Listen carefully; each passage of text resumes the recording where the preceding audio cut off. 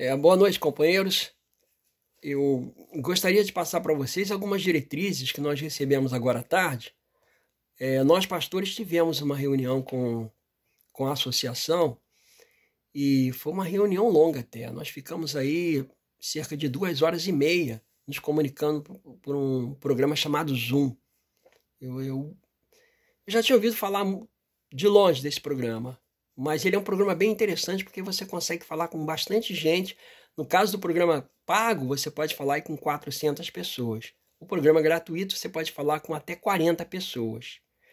E eu, inclusive, utilizei agora à noite esse programa para poder fazer a comissão, que eu precisava fazer uma comissão com o pessoal de Inoan, e nós fizemos uma videoconferência e deu certo, conseguimos fazer a comissão lá. Nessa reunião que nós tivemos com os administradores e também com os departamentais e todos os pastores, ficaram acertadas algumas diretrizes aqui que eu queria passar para vocês. Né? A Igreja Adventista, a instituição, preocupada com o que está acontecendo atualmente no mundo e no Brasil, ela está tomando algumas providências para poder proteger os membros da igreja e, ao mesmo tempo, tomar uma ação em relação a tudo que está acontecendo. É, então, são apresentadas algumas diretrizes. Então, o, onde não haja impedimento, a igreja poderá abrir as portas para receber alguém que recorra à sua ajuda. Então, aqui assim, vamos supor, se tiver um local onde não haja nenhum impedimento, onde a prefeitura ou o governo não tenha impedido que as portas se abram, então podem ficar lá três ou quatro pessoas para poder é, receber alguém que precise.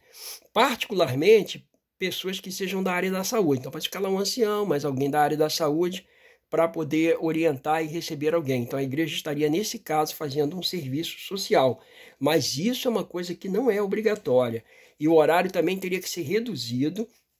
A sugestão é que seja de 9 até as 11, caso a igreja abra. Né? Mas ninguém é obrigado a abrir caso o município ou o estado tenha já solicitado que não se faça isso. Se alguma igreja abrir as portas, o culto então deverá seguir o chamado programa alternativo, que tem então essa configuração mais reduzida. É, como a gente não tem uma previsão de quanto tempo essa crise vai continuar, porque pode durar até 90 dias, a gente não sabe, ou até mais, a gente espera que não, é, nós vamos montar, cada pastor distrital vai montar uma equipe de comunicação para que a gente possa então fazer o comunicado oficial através é, dessa pessoa encarregada da comunicação em cada igreja. É, por exemplo, agora na comissão nós conversamos sobre a, Fabi, a Fabiana, que é a secretária da igreja de Noan, ela vai ficar encarregada dessa parte da, da, da comunicação. Mas os irmãos podem me mandar o, o, o nome é, do departamental do, de comunicação da sua igreja, tá certo? Do oficial de comunicação, se ele for a pessoa mais adequada para fazer isso, né? Eu creio que sim, se for escolhido para isso, seguramente. Tá ok? Agora, com relação ao sábado, agora no dia 21, sábado 21 de março, o pastor Ayrton Keller vai fazer uma, um pronunciamento é, através da TV Novo Tempo. Então, o seu pronunciamento deve ficar aí nessa faixa de 11 até meio-dia. Porém, antes disso, o pastor Giovanni, o pastor Jeú e Josanã, eles também estão, estarão fazendo alguns pronunciamentos, tá ok? O pastor Ayrton vai fazer pronunciamentos e vai fazer também a pregação. É, eu tinha falado para vocês que eu iria fazer uma pregação no sábado de manhã, escola sabatina, pregação, e iria mandar é, o link para a gente poder transmitir ao vivo pelo Facebook. Mas tendo em vista essa, essa comunicação, essa declaração do nosso presidente da divisão, então eu não vou mais fazer. Porém, eu vou fazer uma pregação através do Facebook às 17 horas do sábado. Eu acho interessante porque eu preparei uma mensagem, ela já está quase pronta, é uma mensagem profética, eu acho que é de grande interesse para a igreja. Mas esse final de semana, o sábado pela manhã e também a, o domingo à noite vai ficar sob o encargo da divisão sul-americana. Tá ok? Outra coisa, vai haver uma vigília virtual. Essa vigília virtual vai acontecer de nove da noite até meia-noite. Vai ser dirigida pelo pastor Jeú, o projeto Clamai. Ele já fez algumas vezes, vocês já conhecem, e vai ser feito novamente. Nós acreditamos que vai ser uma benção muito grande para a igreja. tá bom?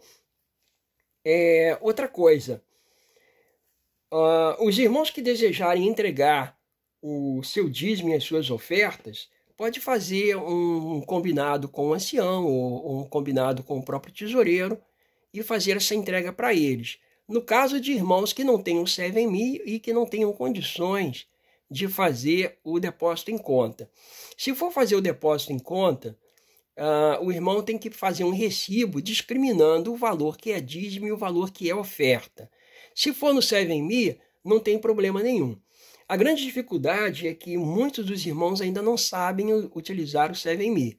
Então, se não souber fazer uma coisa e nem a outra, então recorra ao ancião ou ao tesoureiro da igreja para poder combinar como é que vai fazer então essa entrega, procurando o mínimo de exposição possível, porque a recomendação é que a gente evite o máximo possível de contatos e tomando todos aqueles cuidados que sejam necessários. Todos os grandes eventos da nossa associação, todos foram cancelados. Apenas o Atos 2 vai esperar a decisão da União no dia 3 de abril, que aí terá uma decisão sobre se vai adiar, para quando vai, certamente não vai ser feito agora, né? Os desbravadores e aventureiros, as diretrizes, elas vão ser concetâneas, elas vão acompanhar as resoluções governamentais voltadas para os estudantes naquela mesma faixa etária. Tá ok? Agora, tem um elemento novo que eu acho que é bastante alvissareiro, uma coisa muito legal, que eu acho que foi uma vitória, uma coisa muito boa, foi a modificação feita no evangelismo da Semana Santa.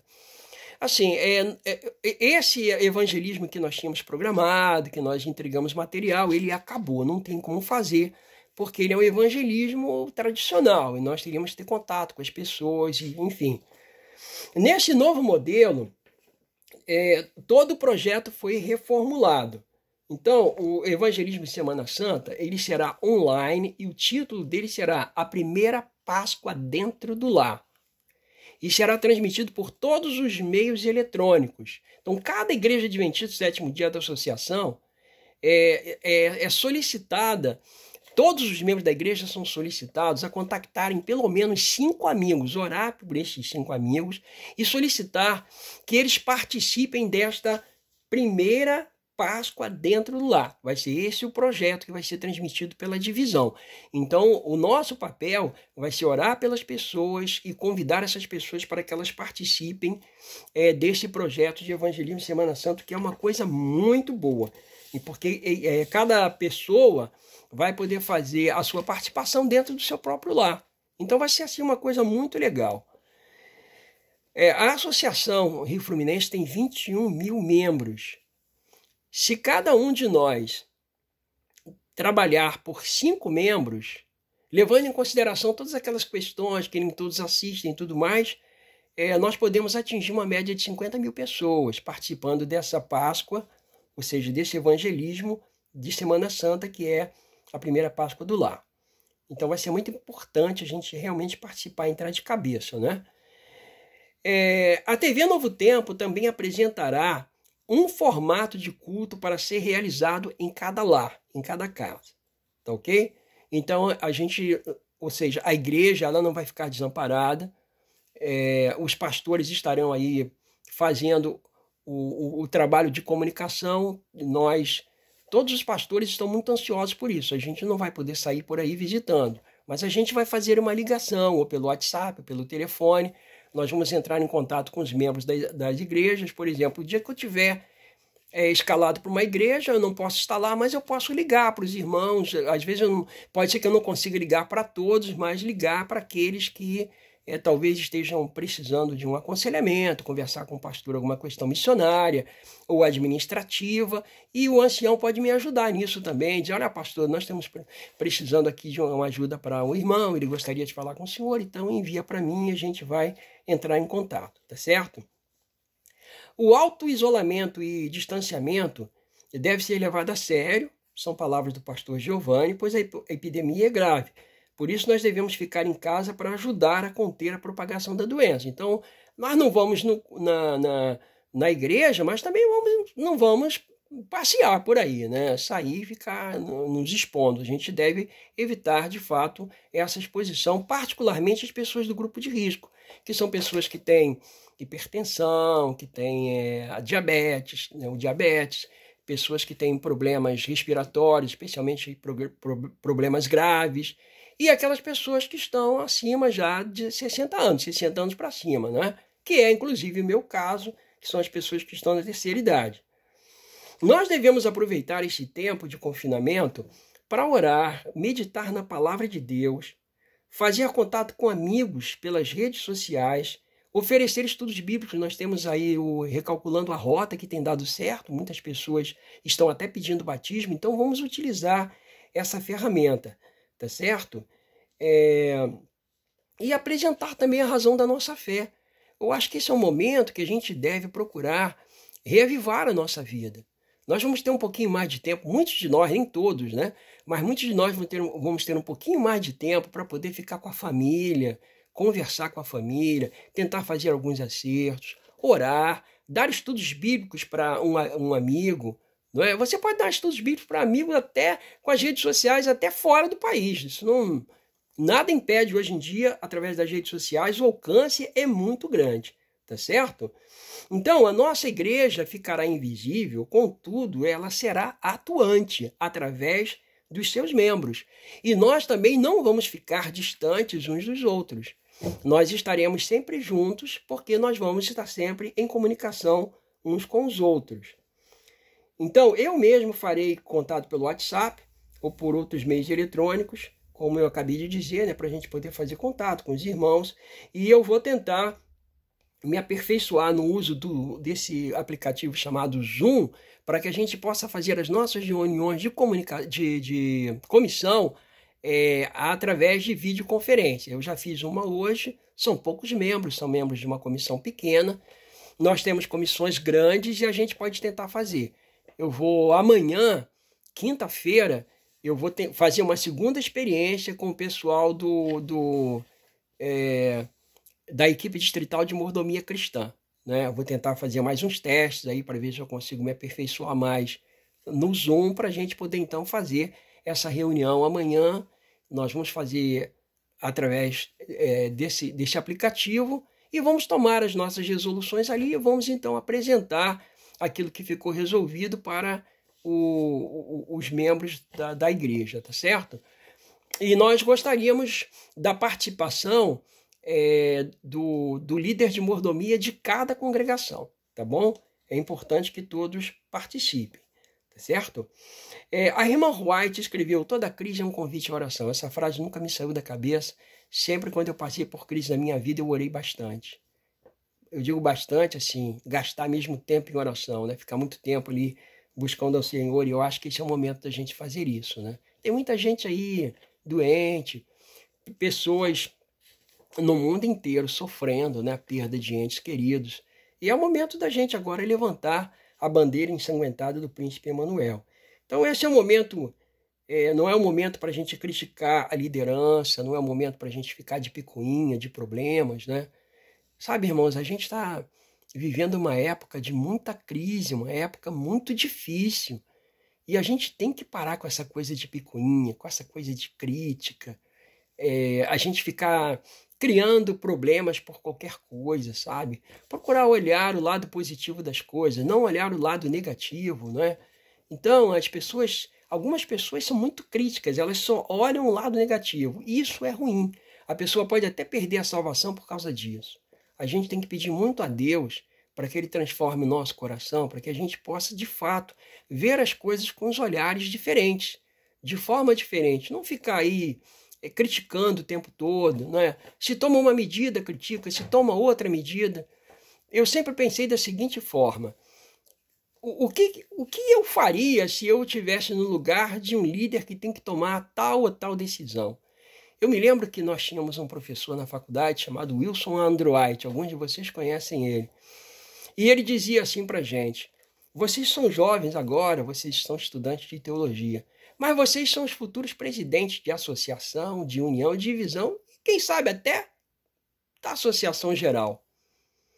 E vocês querem saber de uma coisa? Vocês aqui em sala de aula critico algumas tomadas de decisão. Mas muitos de vocês vão para lá e vão fazer a mesma coisa. E dito e feito. Sabe por quê? Porque quando a gente calça o sapato, quando a gente está numa determinada situação, aí a gente sente o peso da responsabilidade. Nem tudo é tão fácil assim da gente realizar.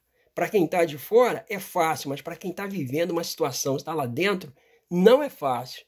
Então, sabe, irmãos, é muito importante a gente saber compreender o lado do outro. A gente evitar a crítica e procurar fazer da melhor maneira possível. Tanto é que na semana passada eu procurei dizer o seguinte: quando a coisa ainda não estava tão grave, eu digo: olha, as, as igrejas que decidirem fechar, que fechem. E, e, continua a mesma diretriz, a mesma são palavras do pastor Giovanni. Eu não tinha conversado com ele ainda, mas hoje ele falou exatamente isso. As igrejas que decidirem fechar, que fechem. Mas se tem alguma igreja né, que, que quer fazer um atendimento lá com um enfermeiro, botar três ou quatro pessoas lá para atender alguém, não tem problema nenhum, é um trabalho social, tá? Não há problema nenhum. Mas a recomendação é que as igrejas, por enquanto, fiquem fechadas, tá certo? Pelo menos durante esse tempo aí de incubação, esses 15 dias e tudo mais. Mas é aquilo que eu estou dizendo, vamos fazer o nosso melhor para que Deus possa nos abençoar, tá certo? Então, na medida em que novas informações forem chegando, nós vamos apresentando essas informações para vocês também, tá certo? E aí eu vou notificando, vou abordando e tudo mais. Bem, irmãos, que Deus nos guarde, que Ele nos abençoe, porque a gente vai precisar muito dele nesse período, né? A gente vai precisar muito mesmo da ajuda divina.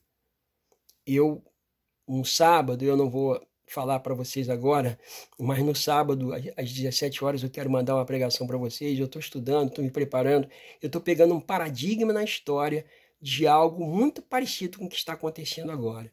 E eu queria apresentar isso para vocês. Eu não tenho dúvida nenhuma de que este é um, um, um sinal, é uma preparação para coisas que ainda vêm por aí. Sabe? Então, esse é o momento de nós realmente procurarmos ajustar a nossa vida, afinar a nossa vida com Deus uns com os outros, tá bom? Vamos nos lembrar do Salmo 91. Mil cairão a teu lado, dez mil à tua direita, porém tu não serás atingido. Somente com os teus olhos olharás e verás a recompensa dos outros, né? Mas nós não seremos atingidos, tá bom? Então, irmãos, eu queria fazer uma oração agora, pedir a Deus que nos ajude, nos abençoe, para que nós sejamos vitoriosos nessa batalha que a gente tem que travar, tá bom? Oremos. Pai Celestial, eu te agradeço muito, Senhor, pelo privilégio de ter homens e mulheres que são dedicados, Senhor. Na grande maioria, nossos companheiros e companheiras são pessoas muito dedicadas, pessoas que se despojam, que se entregam para fazer a tua obra. Senhor, que tu não permitas que esta epidemia venha desarraigar a igreja, venha destruir a sua unidade. Pelo contrário, Senhor, que destas novas perspectivas, destas novas ações, que nasçam coisas maravilhosas que a gente nem imagina, mas que seja para benefício da tua obra e que dentro em breve nós possamos ver o teu filho voltar. Senhor, são bênçãos que eu te peço, neste nome maravilhoso do Senhor Jesus Cristo. Amém. Louvado seja o teu nome. Amém. Irmãos, que Deus abençoe a todos.